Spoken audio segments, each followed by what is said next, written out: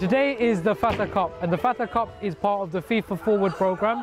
This is part of a wider programme in which we are supporting new volunteers from faith-based organisations. So London and Middlesex FA in partnership with us at the FA have put together an, an intermadrasa tournament where under 10s, 12s and 14s from mosques in and around London and Middlesex have come to play football for the first time. We recognised very quickly that the Muslim community was very underrepresented and as part of London FA's commitment to the Racial Equality Action Plan, we wanted to ensure that the South Asian community and the Muslim community were represented as part of coaches, volunteers and the football workforce. The mosques that we've been involved with have developed teams to bring these children here today. Those teams did not exist three months ago, which is a testament to this project. There's around about two and a half thousand mosques in the UK, and we realise that there's around about 300,000 young children coming to these institutions every week. We went out to faith-based organisations, mosque-based leaders came together and said this is the state that our mosque is in,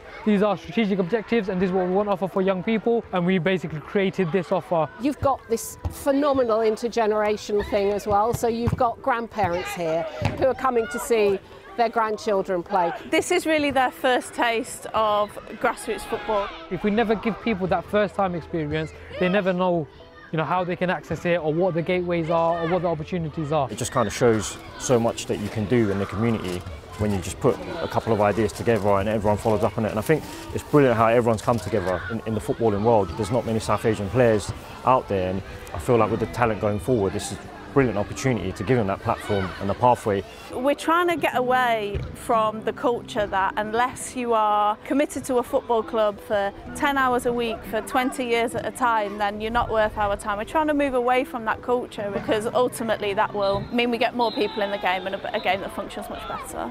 So becoming FA affiliated, getting all the teams and all the players on the FA portal now basically means that you know the masjid itself and all the other masjids are FA affiliated. So now that the groundwork is done, thanks to the FA and FA Associates for assisting with that, the children can enjoy more projects like this going forward.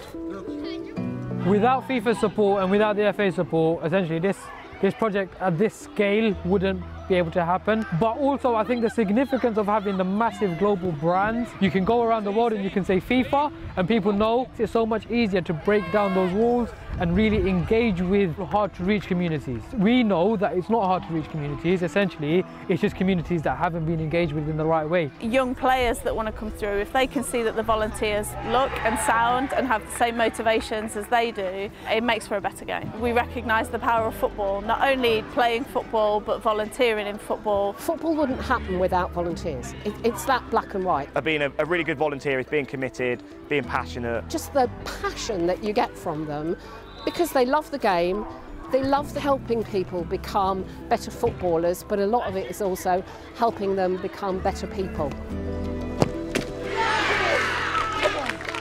The next step for us is these mosques to go away from here and we either want them to affiliate as their own club and then establish the roles within volunteering. It's then a matter of really playing on the success of this.